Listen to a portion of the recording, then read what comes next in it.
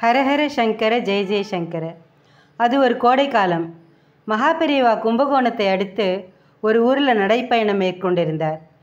அவரோட மடத்து பரிவாரங்கள் மற்றும் சிப்பந்திகள்னு நிறைய பேர் கூட போயின்றிருந்தா கூடவே ஒரு மாட்டு வண்டியில் மடத்து சாமான்கள் மற்றும் இதர பொருட்கள் இவாளோட வந்துட்டு இருந்தது கோடை வெயிலோட உஷ்ணத்தை கேட்கணுமா என்ன?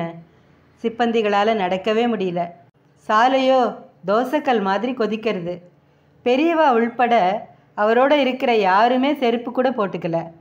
கூட வந்தவாலாம் சாலையோட தகிப்பு தாங்க முடியாமல் அல்லாட ஆரம்பித்தா பெரியவா எதுவுமே நடக்காதது மாதிரி அவர் பாட்டுக்கு நடந்து போயின்னு இருந்தார்.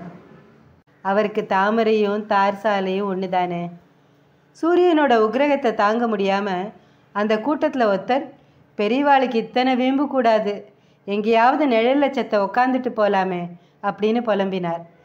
இது முன்னாடி போயிட்டு இருந்த பெரியவாளுக்கு கேட்டுடுத்து. கொஞ்சம் திரும்பி என்ன சொல்கிறான் அவன்? அப்படின்னு பெரியவா கேட்க சொன்னவருக்கு சப்த நாடியும் ஒடுங்கி போச்சு. அவர் பதறி போய் ஒன்றும் இல்லை பெரியவா ஒன்றும் இல்லை அப்படின்னு மழுப்பினார். ஆனால் பரம்பொருளுக்கு தெரியாதா?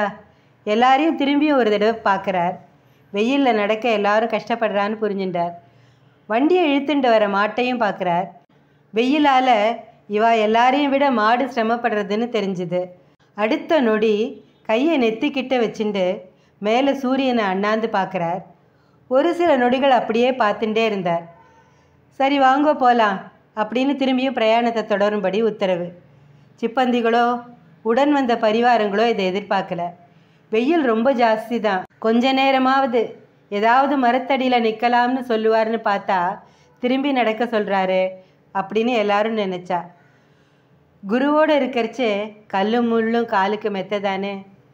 பொதுவாக பெரியவாளோட வர மடத்து ஊழியர்களும் சரி இதர பக்தர்களும் சரி பெரியவாளை மாதிரியே வெதர் பீட்டன் தன்மையுடையவர்கள் தான் இருந்தாலும் இந்த வெயிலால் அவளால் தாங்கவே முடியலங்கிறது தான் உண்மை. ஒரு சில அடிகள் தான் நடந்திருப்பா. அதுக்குள்ளே எங்கேருந்து தான் திடீர்னு மேகங்கள் திரண்டுதோ தெரியாது.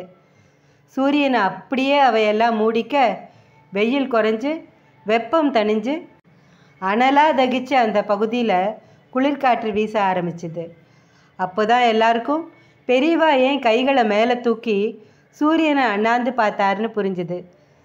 தன்னையே நம்பி தம் பின்னாடி வர பக்தர்களுக்காக அந்த இயற்கையையே கட்டுப்படுத்துவார் மகாபெரிவா இவாள்லாம் போய் சேர வேண்டிய இடத்துக்கு போய் சேர்கிற வரைக்கும் சூரியன் எட்டி கூட பார்க்கல. இதுதான் மகாபெரிவாளோட மகிமை. ஸ்ரீ மகாபெரிவா திருவடிகளே சரணம். ஹரஹர சங்கர ஜெய ஜெய சங்கர. காஞ்சி சங்கர காமகோட்டி சங்கர.